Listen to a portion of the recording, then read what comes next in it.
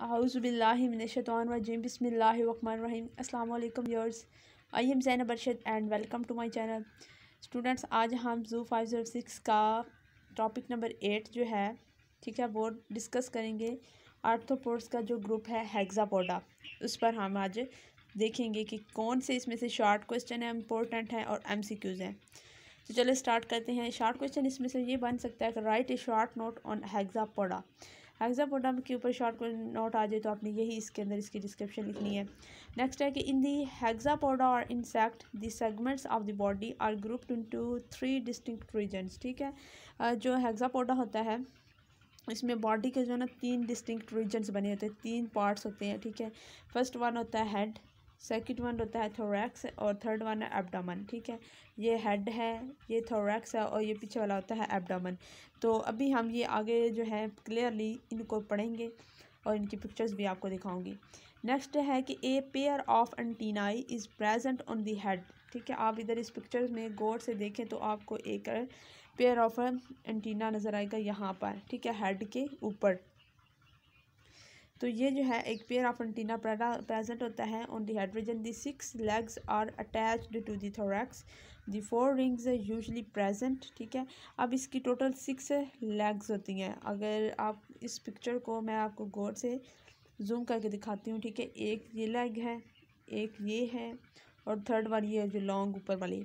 ये तीन लेग्स हैं, जो बॉडी के एक इस साइड पे हैं एक दूसरी साइड पे हैं। तो ये तीन पेयर्स बना रहे हैं। टोटल इसकी कितनी लेग्स होगी? सिक्स और ये सिर्फ़ थोरैक्स वाले रीजन में पाई जाती हैं एबडमन वाले रीजन में नहीं है। तो ये टोटल कितनी सिक्स हो लेग्स हो गई हैं? सिक्स ठीक है तो यहाँ पर आपने ये याद रखना कि सिक्स लेग्स हैं जो कि किस रीजन पर मौजूद हैं? थोरैक्स रीजन पे। Six legs are attached to the thorax the four wings are usually present four wings होते हैं ये जो ऊपर इनके बने हुए नज़र आपको आ रहे हैं टू इस साइड पे और टू इस साइड पे।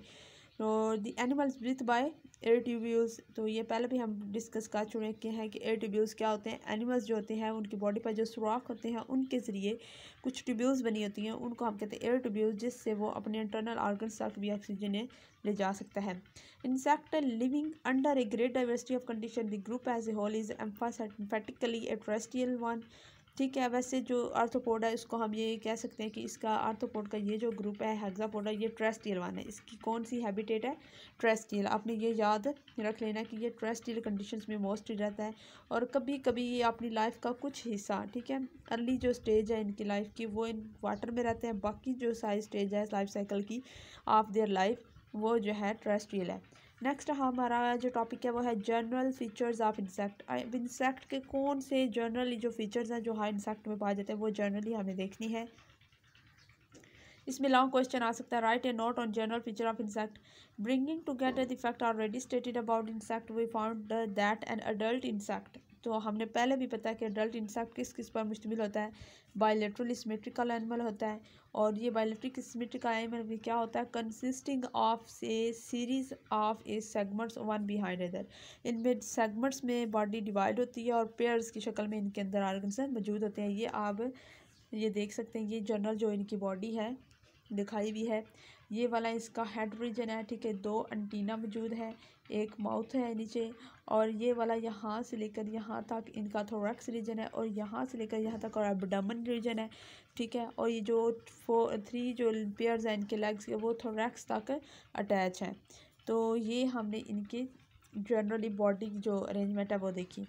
That these segments are grouped into three regions the head in front folded in order by thorax जो हेड है वो किससे फोल्ड किया जाता है? थोरैक्स से थोरैक्स किसको आगे लीड कर रहा है? एबडोमन को। ठीक है दी हेड इन फ्रंट पे है। The abdomen has shown in figure that the animal is covered by skeleton shell like in that it is one the outside of the body but horning in nature ठीक है, इनकी जो shell है, उनमें थोड़ी थोड़ी हॉर्निंग इन नेचर भी होता है। हॉर्न्स भी मौजूद होते हैं, जैसे इसकी टांगों पर आपको छोटे छोटे स्पायरल्स वगैरह नज़र आ रहे होंगे। ठीक है हॉर्न्स वगैरह। तो ये इनकी जनरल करेक्टरिस्टिक है बॉडी की।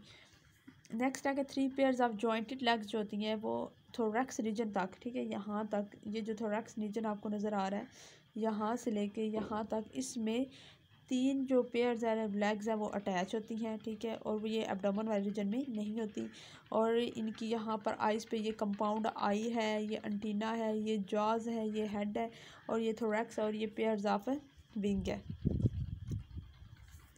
नेक्स्ट है कि that a pair of antenna mouth part ठीक है?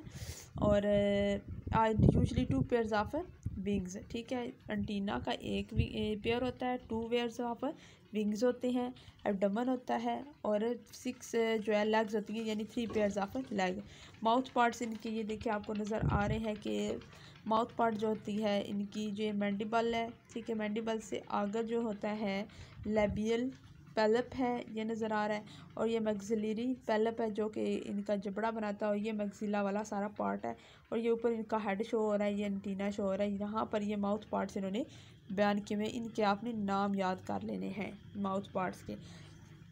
इनके टू पेयर्स ऑफ़ विंग्स होते हैं, ठीक है? विंग्स भी आप देख सकते हैं कि यहाँ पर विंग्स के अंदर भी जो है, यहाँ पर इन्होंने अरेंजमेंट बनाई हुई है। जहाँ पर इनकी नोट्स और पेट्रियोस्टिग्मा भी मौजूद होता है। ये आगे हम पढ़ेंगे नोडल्स क्या है और पेट्रो स्टिग्मा क्या है विंग्स के अंदर। And it breathe through air tubules जी, अब जो इंसेक्ट है, उसकी ये बॉडी दिखाई गई है ठीक है?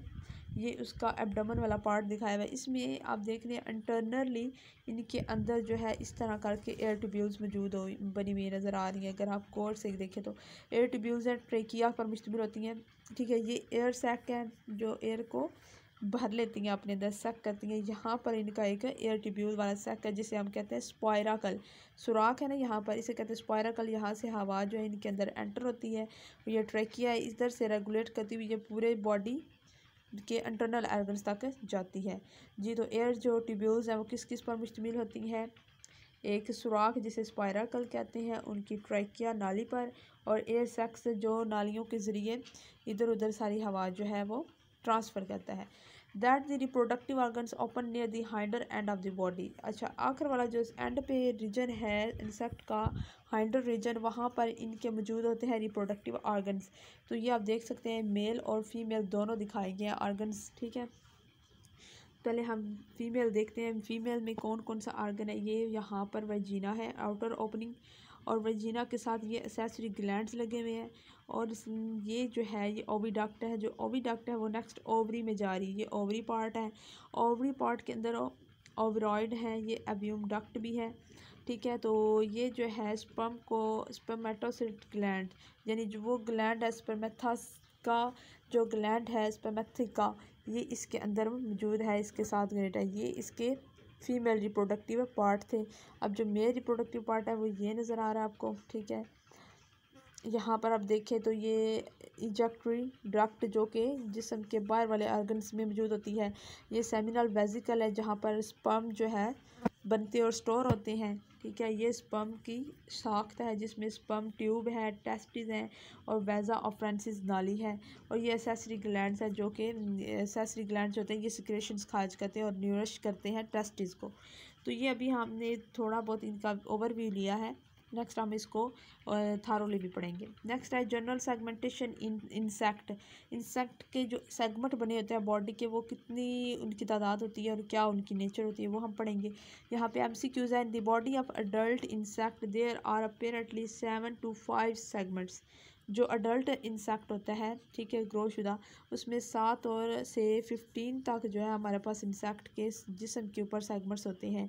इनको कैसे डिवाइड हम कर सकते हैं? उससे, उनमें से एक जो होता है हाइड्रोजन में होता है one in hydrogen three in the तीन जो है वो नेक वाले रीजन में और थ्री टू अलेवन जो होता है उनके पेट यानी अपडमन वाले रीजन में सेगमेंट्स बने होते हैं। कैसे?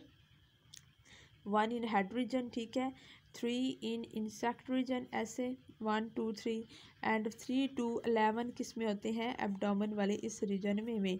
ठीक है तो मैं इधर गिन के नहीं बना रही, वैसे आपको समझा रही हूँ। लेकिन वही जो अडल्ट है, जब वो एग में होता है, जब उसका एग बना होता है एग में जो होता है ना एम्ब्रियो वो इससे थोड़े डिफरेंट सेगमेंटेशन शो करता है। In egg however the embryo show the presence of six segments embryo के अंदर टोटल सिग सेगमेंट्स होते हैं हेड पे। और अडल्ट में हेड में कितने सेगमेंट्स होते हैं? एक। लेकिन एम्ब्रियो में जब वो अडल्ट अभी, जो एम्ब्रियो है वो अडल्ट में अभी ग्रो नहीं किया होगा, उसके अंदर हेड के अंदर कितने सेगमेंट्स होंगे? सिक्स बाद में वो डिफ्रेंशिएट होके डिफरेंट बॉडी आर्गन्स बनाता है और हेड का जो है अडल्ट में एक पार्ट रह जाता है। तो वो ये कह रहे हैं कि six segments in the head three in thorax and eleven to twelve in the abdomen यानी ओरिजिनली एम्ब्रियो और ग्रोथ जहाँ पर इनकी स्टार्ट हो रही है, वहाँ से अगर देखें तो इसके टोटल नंबर ऑफ़ सेगमेंट्स कितने होंगे? ट्वेंटी वन और ट्वेंटी वन होते हैं at the start of growth जब वो एम्ब्रियो ग्रो करके अडल्ट में चेंज हो जाता है, वो ट्वेंटी वन से किसमें चेंज हो जाता है? फिफ्टीन तक. सेवन टू फिफ्टीन, ये आपने एम सी क्यूज़ के लिए याद कर लेने। This change to the adult has been brought in about in that by an extreme amount of fusion and condensation and in the abdomen partially by fusion वो कहते हैं कि एम्ब्रियो में टोटल कितने सेगमेंट्स होते हैं? ट्वेंटी। ये reduce होकर फिफ्टीन में कैसे हुए? क्योंकि ट्वेंटी सेगमेंट्स में कुछ सेगमेंट्स आपस में फ्यूज़ होकर रिड्यूस हो जाते हैं, कम होते हैं और ट्वेंटी की बजाय फिफ्टीन में डेवलप होकर चेंज हो जाते हैं। तो इस तरीके से वो न्यू न्यू आर्गन्स बना देते हैं। Partially by sort of telescoping a gradual shifting of one segments with another until it has been entirely are concealed यानी कि हम इसे टेलीस्कोपिंग के और ऐसे देख सकते हैं कि ग्रेजुअल जो शिफ्टिंग होती है, एक सेगमेंट किस तरह, दूसरे एक सेगमेंट में चेंज हो रहा है और बीस जो है वो टोटल किसमें आके डिवाइड होकर फ्यूज़ होकर चेंज हो जाते हैं फिफ्टीन में। तो ये आपने याद रखना है। आज के लेक्चर के लिए इतना ही था। नेक्स्ट वीडियो में मैं नेक्स्ट लेक्चर अपलोड करूँगी। आज के लिए इजाज़त दीजिए। अल्लाह हाफिज़।